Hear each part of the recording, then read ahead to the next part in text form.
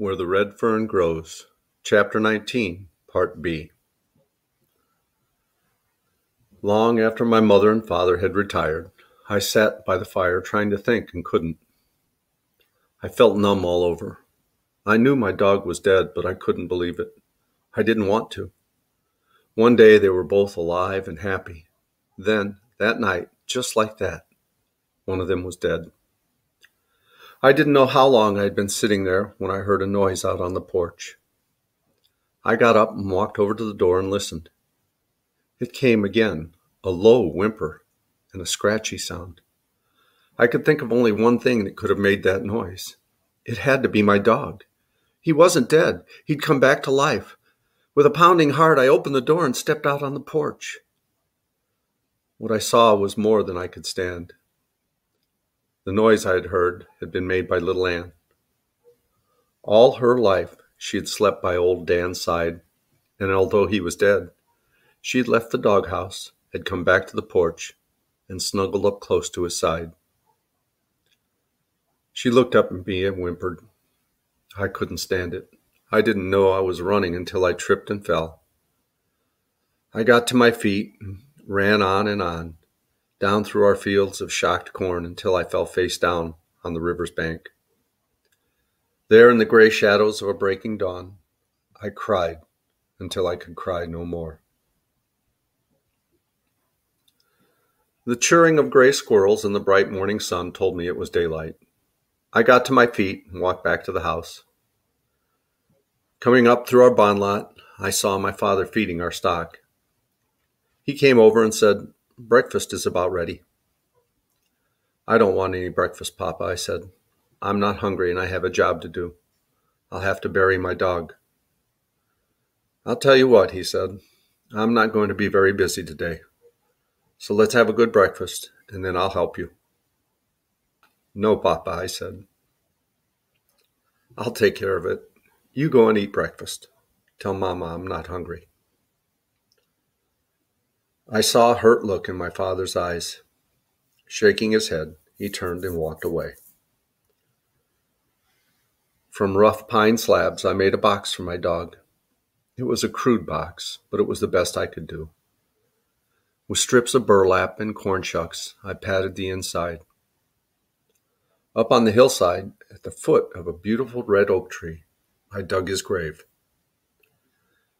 There, where the wild mountain flowers would grow in the spring, I laid him away. I had a purpose in burying my dog up there on the hillside. It was a beautiful spot. From there, one could see the country for miles the long, white, crooked line of the river, the tall, thick timber of the bottoms, the sycamores, birch, and box elder. I thought perhaps on moonlight nights Old Dan would be able to hear the deep voices of the hounds as they rolled out over the river bottoms on the frosty air. After the last shovelful of dirt was patted in place, I sat down and let my mind drift back through the years. I thought of the old KC baking powder can and the first time I saw my pups in the box at the depot. I thought of the $50, the nickels and dimes, and the fishermen and the blackberry patches. I looked at his grave, and with tears in my eyes, I voiced these words You were worth it, old friend, and a thousand times over.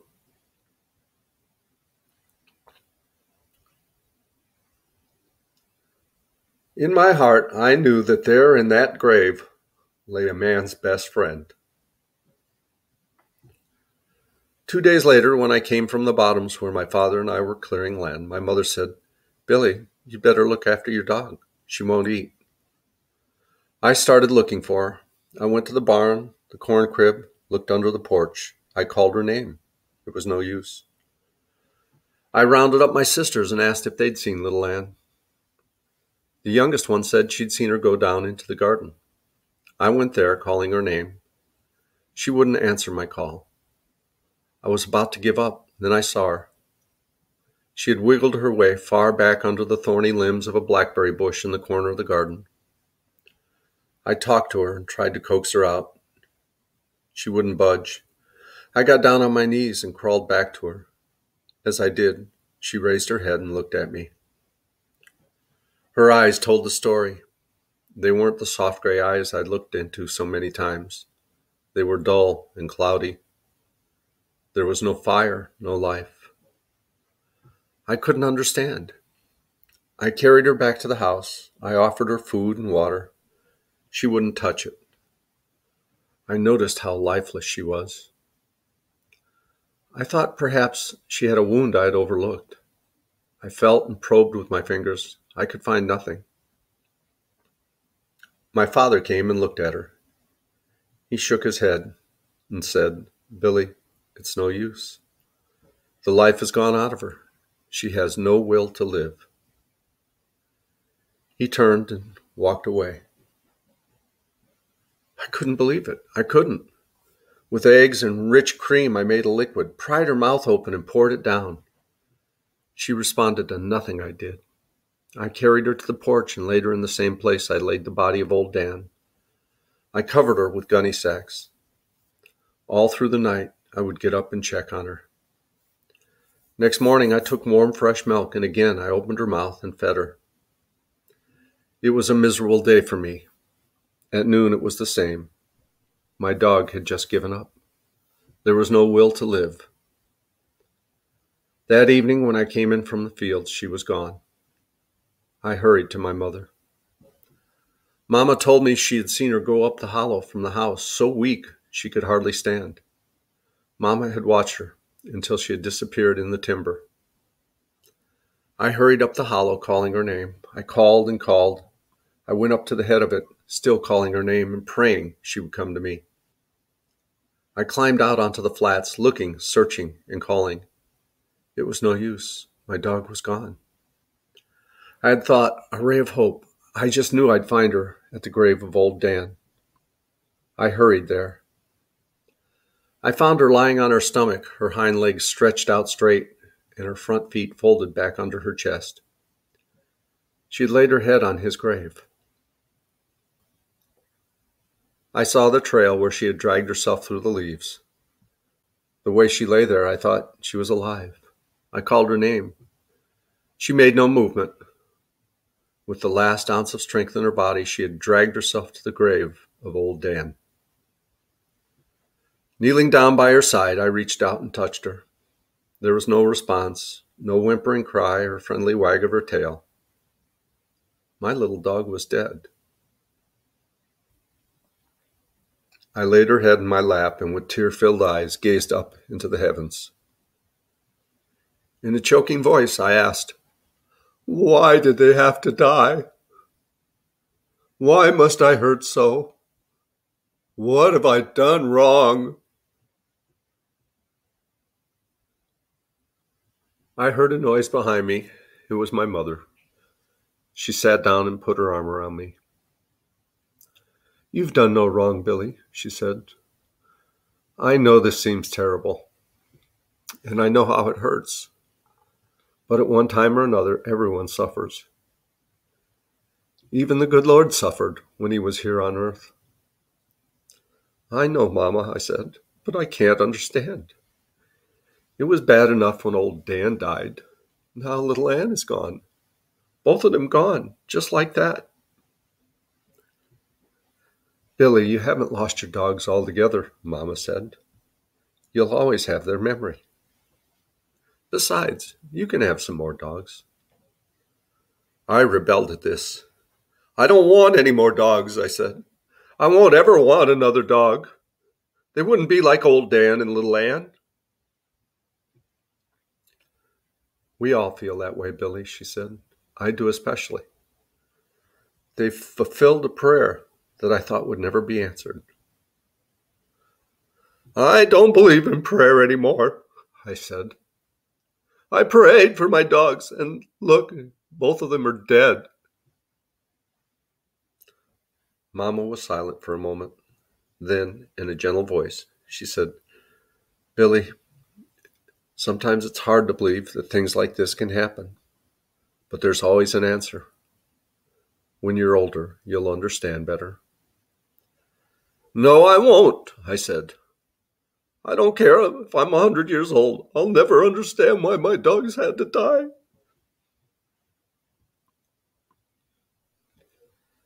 As if she was talking to someone far away, I heard her say in a low voice, I don't know what to say. I can't seem to find the right words.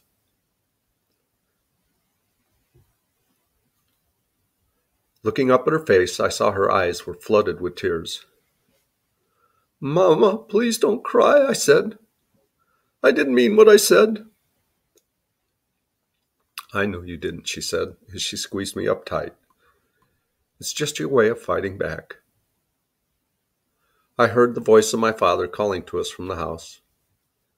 Come now, Mamma said. I have supper ready and your father wants to talk to you. I think when you've heard what he has to say, you'll feel better.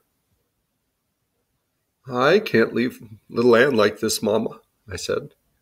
It'll be cold tonight. I think I'll carry her back to the house. No, I don't think you should do that, Mamma said. Your sisters would go all to pieces. Let's make her comfortable here. Raking some leaves into a pile, she picked little Ann up and laid her on them. Taking off my coat, I spread it over her body. I dreaded to think of what I had to do on the morrow.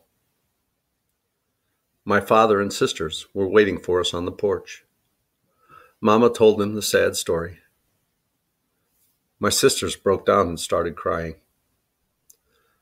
They ran to Mamma and buried their faces in her long cotton dress. Papa came over and laid his hand on my shoulder. Billy, he said, there are times in a boy's life when he has to stand up like a man. This is one of those times. I know what you're going through and how it hurts, but there's always an answer. The good Lord has a reason for everything he does. There couldn't be any reason for my dogs to die, Papa, I said. There just couldn't. They hadn't done anything wrong. Papa glanced at Mamma. Getting no help for her, he said, It's getting cold out here. Let's go in the house. I have something to show you. Guess what we're having for supper, Mamma said as we turned to enter the house. Your favorite, Billy, sweet potato pie. You'll like that, won't you? I nodded my head, but my heart wasn't in it. Papa followed us in the kitchen. He turned and entered his bedroom. When he came into the room, he had a small shoebox in his hand. I recognized the box by the bright blue ribbon tied around it. Mamma kept her valuables in it. A silence settled over the room. Walking to the head of the table, Papa set the box down and started untying the ribbon. His hands were trembling as he fumbled with the knot. With the lid off, he reached in and started lifting out bundles of money. After stacking them in a neat pile, he raised his head and looked straight at me. Billy, he said, you know how your mother has prayed that someday we'd have enough money to move out of these hills and into town so that you children could get an education. I nodded my head. Well, he said in a low voice, because of your dogs, her prayers have been answered. This is the money earned by old Dan and little Ann. I've managed to make the farm feed us and clothe us, and I've saved every cent your furs brought in. We now have enough. Isn't it wonderful? Mamma said. It's just like a miracle. I think it is a miracle, Papa said. Remember, Billy said a prayer when he asked for his pups, and then there were your prayers. Billy got his pups through those dogs. Your prayers were answered. Yes, I'm sure it is a miracle. If he gave them to me, then why did he take them away? I asked. I think there's an answer for that too, Papa said.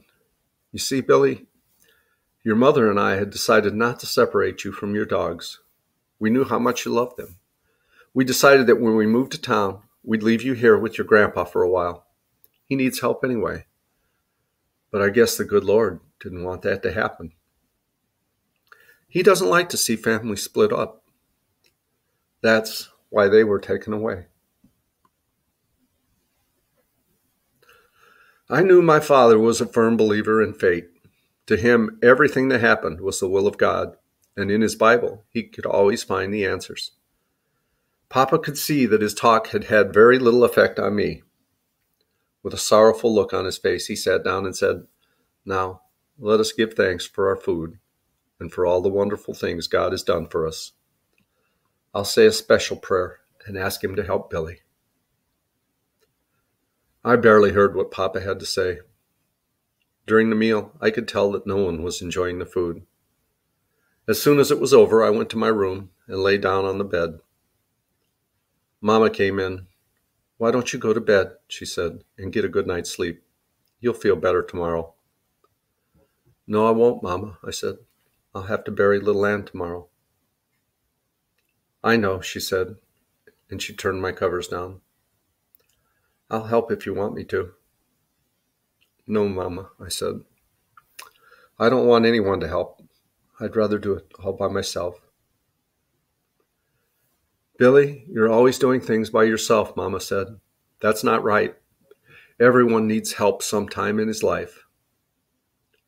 I know, Mama, I said, but please, not this time. Ever since my dogs were puppies, we've always been together, just us three. We hunted together and played together. We even went swimming together. Did you know, Mama, that little Ann used to come every night and peek in my window just to see if I was all right? I guess that's why I want to be by myself when I bury her. Now say your prayers and go to sleep. I'm sure you'll feel better in the morning. I didn't feel like saying any prayers that night. I was hurting too much. Long after the rest of the family had gone to bed, I lay staring into the darkness, trying to think and not able to. Sometime in the night, I got up and tiptoed to my window and looked out at my doghouse. It looked so lonely and empty sitting there in the moonlight. I could see that the door was slightly ajar. I thought of the many times I had lain in my bed and listened to the squeaking of the door as my dogs went in and out. I didn't know I was crying until I felt the tears roll down my cheek. Mamma must have heard me get up. She came in and put her arms around me. Billy, she said in a quavering voice, you'll just have to stop this. You're going to make yourself sick, and I don't think I can stand any more of it. I can't, Mamma, I said. It hurts so much. I just can't. I don't want you to feel bad just because I do. I can't help it, Billy, she said. Come now and get back in bed. I'm afraid you'll catch cold. After she had tucked me in, she sat on the bed for a while. As if she were talking to the darkness, I heard her say, If only there was some way I could help, something I could do. No one can help, Mamma, I said. No one can bring my dogs back. I know, she said as she got up to leave the room. But there must be something. There just has to be. After Mamma had left the room, I buried my face in my pillow and cried myself to sleep. The next morning, I made another box. It was smaller than the first one. Each nail I drove in the rough pine boards caused the knot in my throat to get bigger and bigger. My sisters came to help. They stood it for a while, then, with tears streaming, they ran from the house. I buried little Ann by the side of old Dan. I knew that was where she wanted to be. I also buried a part of my life along with my dog. Remembering a sandstone ledge I'd seen while prowling the woods, I went there. I picked out a nice stone and carried it back to the graves. There, with painstaking care, I carved their names deep in its red surface. As I stood looking at the two graves, I tried hard to understand some of the things my father had told me, but I, I couldn't. I was still hurting and still had that empty feeling. I went to Mama and had a talk with her. Mama, I asked, do you think God made a heaven for all good dogs? Yes, she said. I'm sure he did. Do you think he made a place for dogs to hunt? You know, just like we have here on our place, with mountains and sycamore trees, rivers and cornfields and old rail fences. Do you think he did? From what I've read in the good book, Billy, she said, he put far more things up there than we have here. Yes, I'm sure he did. I was thinking this over when Mama came up to me and started tucking my shirt in. Do you feel better now? she asked. It still hurts, Mama, I said as I buried my face in her dress. But I do feel a little better. I'm glad, she said as she patted my head. I don't like to see my little boy hurt like this.